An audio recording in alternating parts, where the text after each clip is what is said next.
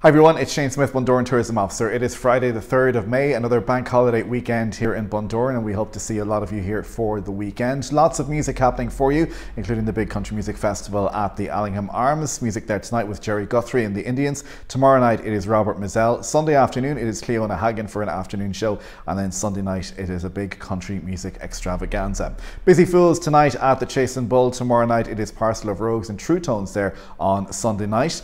Then moving down to the Phoenix Tavern at East End, King of the Road karaoke there tonight. Tomorrow night it is music with Optical Illusion. Sunday night it is uh, music with Happy Wanderers and also Tumbling Paddies. Music across the weekend at 51 Main Street and also the Celtic Marine Bar. And you've got Mark Mack there on Sunday night. The usual trad session tonight at Madden's Bridge Bar. Usual acoustic session there tomorrow night and then back because it's a bank holiday weekend. Trad session there again on Sunday. John Meehan at the Railway Bar on Saturday and on on Saturday night at the Grand Central. It is music with Graham Mack.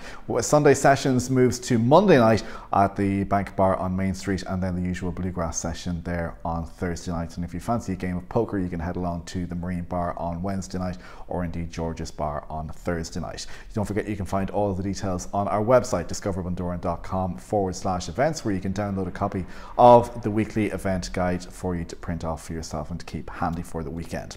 The guest on our podcast for this week is is Steve Scher. He is of Bellevue College in Seattle. He is here with a bunch of his students talking about uh, politics and culture and music, and they're making podcasts about Bundoran. So we have him on our podcast this week. So you'll hear all about, all about that on the Bundoran Weekly via bundoranweekly.com or indeed any of these platforms here.